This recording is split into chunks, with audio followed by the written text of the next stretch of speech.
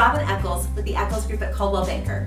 Congratulations, you are through your due diligence deadline and one step closer to owning your home. Now this next phase is your financing and appraisal time. And uh, during this time, we're still going to be very involved, but on the real estate side, we take a little bit of a step back and it's time for your lender to run the show. So we'll be touching base with them every couple of days just to make sure that things are on track. The best thing that you can do at this time is just make sure anything that is that they request of you, that you get it to them as quickly as possible. Deadlines become uh, very key during this time since things have to go through a few hands as far as investor and underwriter to just make sure that your loan stays right on track. So if you turn in anything that they request as quickly as you can, we'll be in solid shape.